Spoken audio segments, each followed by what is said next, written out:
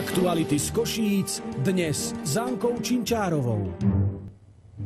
Pekný večer. Dnešné aktuality budú opäť plné zaujímavých tém z nášho mesta. Zamrznutý horná vodohospodári sledujú. Košičanke posiela listy priateľka z Ameriky. Nevždy ich doručia. Lokomotíva začala prípravu v domácich podmienkach.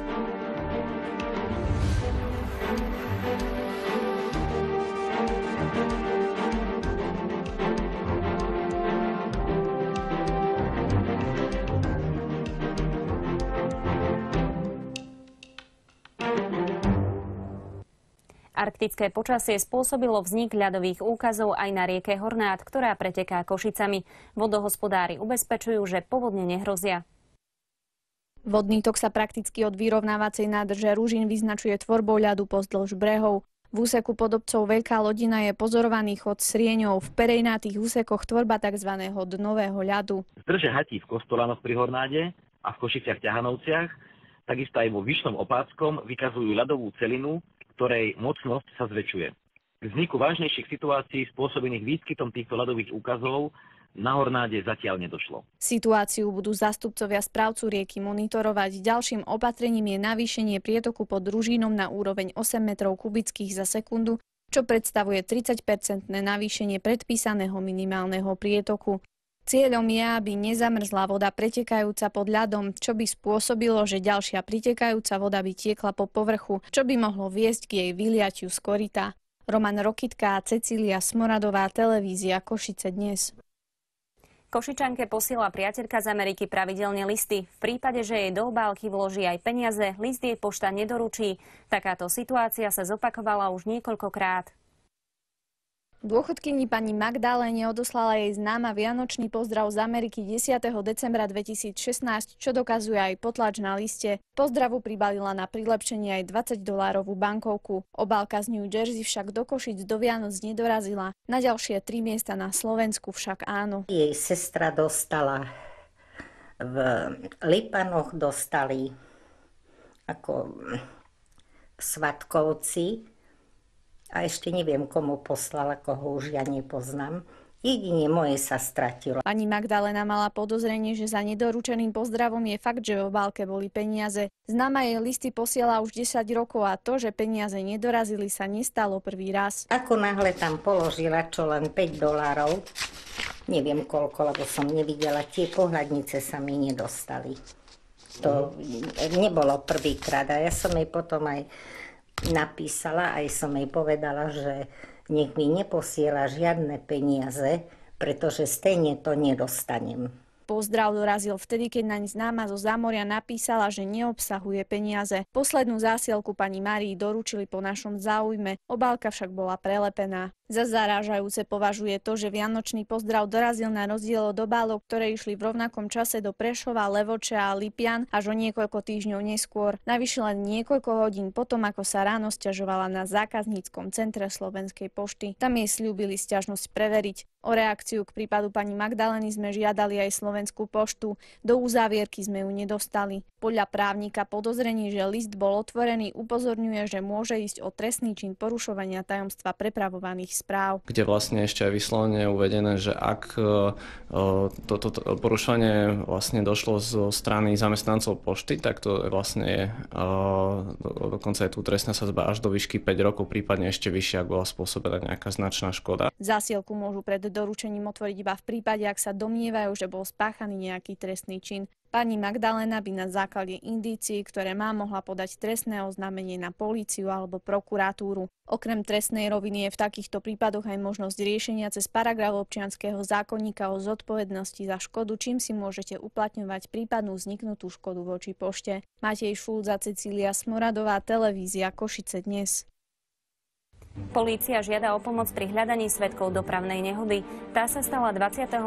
decembra minulého roka medzi polnocou a 5 hodinou ráno. Vodič idúci po triede SMP nezvládol riadenie a oproti čerpacej stanici dostal šmik. Z autom vyšiel mimo cesty na vyvýšený ostrovček, kde narazil do reklamného pútača, ktorý dopadol na tri zaparkované autá. Z miesta nehody ušiel. Polícia žiada svetkov tejto dopravnej nehody, aby sa prihlásili na oddelení dopravných nehôd okresného riaditeľstva policajného zboru v Košiciach na Rampovej ulici 7 alebo na telefónnom čísle 09619 325 15, prípadne na čísle 158. Ďalšie informácie z mesta si už pozrite v krátkých správach. Laboratórne vyšetrenia Národného referenčného laboratória pre aviárnu influenzu vo zvolenie potvrdili, že u kačíc z Košickej zoo šlo o podtyp vtáčej chrípky, ktorý nie je prenosný na ľudí. Podľa slov vedúcej oddelenia vzdelávania a marketingu Evy Malešovej od prípadu z 3. januára, kedy bola nákaza vtáčej chrípky potvrdená u štyroch kačíc druhu pyžmovka lesklá, nezaznamenali žiadne klinické príznaky u ďalších vtákov. V rámci preventívnych opatrení ostane zoo zatvorená približne do konca januára. Budove Univerzity Pavla Jozefa Šafárika po nedávnom požiari v súčasnosti pokračujú sanačné práce, dekontaminácia, sušenie stropov, stien a podlách. Podľa konateľa firmy Sanak Richarda Balciara, ktorá tieto práce vykonáva, im síce počasie v práci exteriéry komplikuje, avšak ukončiť by ich mali podľa plánu do konca januára. Zatiaľ sa podarilo získať podstatné dáta zo všetkých médií, niekoľko dátových médií je však ešte potrebné spracovať, uviedla hovorkyňa Univerzity Mária Hrehová. Aj naďalej prebieha finančná zbierka na obnovu chemických laboratórií pre študentov. Informácie o tom, ako môžete prispieť, nájdete na webovej stránke UPJŠ. V noci z nedele na pondelok z útulku pre psov v Haniske niekto ukradol hromadu diek, ktoré tu v extrémne chladnom počasí potrebujú najviac. Ak by ste teda doma našli nepotrebné staré oblečenie, deky, paplóny alebo iné veci vhodné na podstielku, môžete kontaktovať pracovníkov útulku, veci doniesť priamo do Hanisky v čase medzi 8 ráno a 5 po obede, alebo ich odovzdať na zberných miestach, ktoré sa nachádzajú vo veterinárnej ambulancii na Cimborkovej 8, veterinárnej ambulancii na Kalinčiakovej 8 a v obchodíku na Sokolovskej ulici. Už od vstupu Slovenska do európskych štruktúr pomáha ľuďom so záujmom o prácu v zahraničí EURES. Košická pobočka spoločnosti pomohla v Lani okolo tromstovkám Košičanov nájsť pracovné uplatnenie v krajinách európskeho hospodárskeho priestoru, ale aj v Norsku, Lichtensteinsku či Švajčiarsku. Pri hľadaní práce s lepším zárobkom v zahraničí nemusia Košičania nutne kontaktovať pracovné agentúry. Sieť EURES uh, funguje tým spôsobom, že informácie o voľných pracovných miestach priamo k európskym zamestnávateľom uh, máme uverejnené na našich stránkach. Máme európsky portál, uh, ktorý využívajú všetci Európania pre vyhľadávanie pracovných pozícií a máme náš slovenský národný portál, na ktorom je rovnako databáza voľných pracovných miest. Tí, ktorí pracujú s internetom, ktorí vedia využívať naše webové stránky, môžu kontaktovať týmto spôsobom priamo zamestnávateľa, s ktorým sa môžu dohodnúť na pracovnom pomere. Záujem zo strany zahraničných zamestnávateľov je veľký. Obrovský pracovný trh má Nemecko, Rakúsko, Česká republika i severské krajiny. Základnou podmienkou úspechu je v prvom rade jazyk. Jedna z tých ponúk, ktoré e, naši klienti nájdú v tých našich databázach, si vyžaduje znalosť cudzieho jazyka, či už z niektorého svetového alebo znalosť jazyka danej krajiny. E, dôležitá je častokrát aj prax pre tých zamestnávateľov, takže hľadajú ľudí, ktorí už majú určité pracovné skúsenosti. To sú asi tie najdôležitejšie body.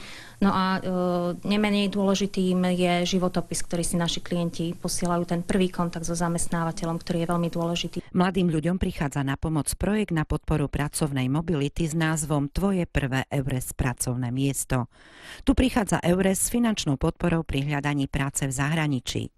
V rámci neho môže mladý človek získať financie na cestu na pracovný pohovor do zahraničia, ale aj na náklady spojené s presťahovaním. Tento príspevok na presťahovanie nie je konštantný, odvíja sa od životných nákladov v tej ktorej krajine. Donedávna bolo Slovensko krajinou, ktorá dodávala na európsky pracovný trh svojich ľudí.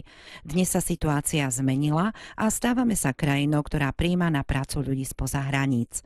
Najväčší záujem našich zamestnávateľov je o šičky, kamionistov, ale aj o operátorov výroby. Zvyšuje sa aj dopyt po špecialistoch v IT oblasti. Naši zamestnávateľia smerujú s ponukami na prácu do Rumunska a Bulharska. Sieť EURES im zabezpečí, že sú pracovné ponuky publikované jednak v európskej databáze, ale aj na portáli v krajine, ktorú si zamestnávateľ vyberie. Janka Fedorová, televízia Košice dnes. Počet nových bytov v Košiciach bude narastať aj v roku 2017. Nové projekty sú podľa hypotekárnych špecialistov odrazom priaznivej situácie na trhu. Nové podmienky Národnej banky Slovenska však môžu získanie hypoték stiažiť. V prvom štvrť roku sa má rozbehnúť výstavba za Jumbo centrom. 14 podschodový vežiak so 48 bytmi vyrastie na Lomenej ulici. Dokončiť by ho mali v roku 2018 centre mesta pribudnú byty aj vďaka komplexu na mieste bývalej Mlínskej bašty či na mieste niekdajšej budovy Všeobecnej úverovej banky.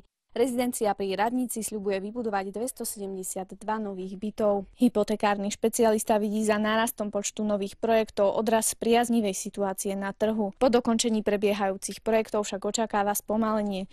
Dôvodom sú aj zmeny, ktoré majú platiť od marca. Banky budú klientov tzv. stres testovať to znamená, že nebude sa sledovať len to, že či klient je schopný splácať splatku teraz hypotéky, ale dôležité bude aj, či by bol schopný ten klient splácať splatku, keby mu stúpla o 2%.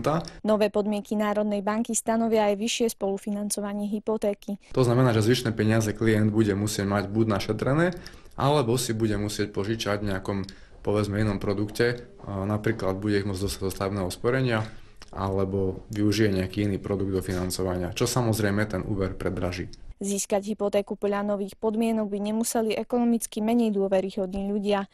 Dôvodom sú príliš lacné hypotéky v minulom období, ktoré tlačia ceny nehnuteľností nahor. Matej Šulza, Cecília Smoradová, televízia Košice dnes. Profesor Martin Bačkor z Prírodovedeckej fakulty Univerzity Pavla Jozefa Šafárika je jedným z členov polárnej expedície, ktorá v týchto dňoch smeruje na Antarktídu. Na ostrove Jamesa Rossa sa budú jej členovia dva mesiace venovať vedeckej práci v rôznych prírodovedeckých odboroch.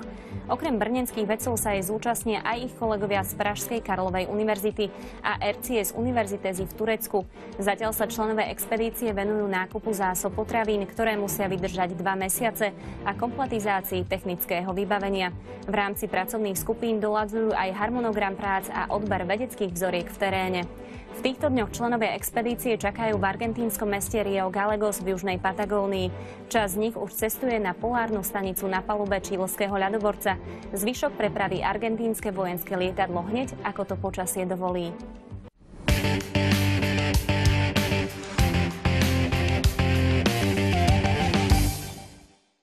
A poďme na šport. Futbalisti Lokomotívy Košice začali v domácich podmienkach zimnú prípravu. Momentálne tretí celok druhej ligy skupiny Východ má v pláne herné sústredenie i prípravné zápasy.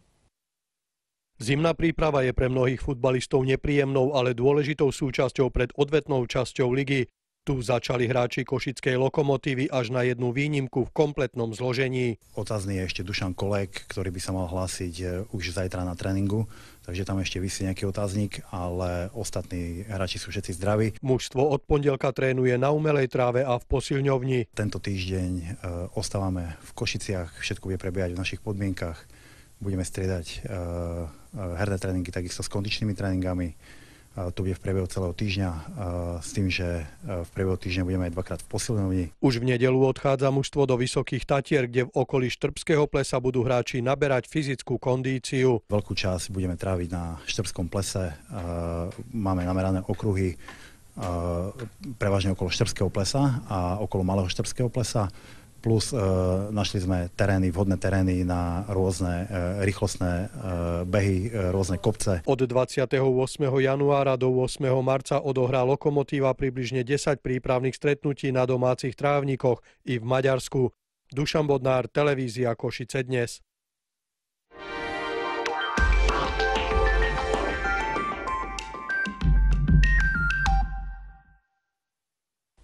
Januárová zima naďalej pokračuje. To, aké počasie nás v tomto chladnom období čaká, sa dozviete v predpovedi počasia. Príjemný podvečer. Dnes v noci nás čakajú mimoriadne nízke teploty. Nočné mrazy pokračujú a miestami očakávame teploty od minus 11 až do minus 13 stupňov. Ak sa teda chystáte večer niekde von, tak sa rozhodne nezabudnite teplo obliecť. Počas dňa sa mráz pohrá s teplotami i naďalej. Obloha bude jasná, no občas ju zakrie pár mrakov, z ktorých ale nebude snežiť. Najvyššia denná teplota vystúpi na minus 6 až minus 4 stupne. Tí, ktorí sa chystáte na hory, pozor na silný vietor až výchricu. Biostupeň bude na dvojke, čo je slabá až bienna záťaž. Potešíme aj priaznivcov zimných športov. Všetky okolité lyžiarske strediská hlásia veľmi dobré podmienky. Napríklad v Kavečanoch dosahuje snehová prikrývka 35 cm a na obľúbenom štrbskom plese si zaližujete na 75 cm. To je odo mňa z počasia všetko, sledujte nás aj zajtra. Dovidenia. Aj v publicistike vám dnes prinesieme aktuálne informácie z nášho mesta. Pozrieť si budete môcť napríklad prehľad tých najdôležitejších udalostí, ktoré sa v tomto roku v Košiciach uskutočnia. Medzi nimi nebude chýbať napríklad vyhlásenie výsledkov ankety Košičan roka či dokončenie opravy korčuliarského pavilónu. Zo štúdia vám prajeme ešte pekný večer.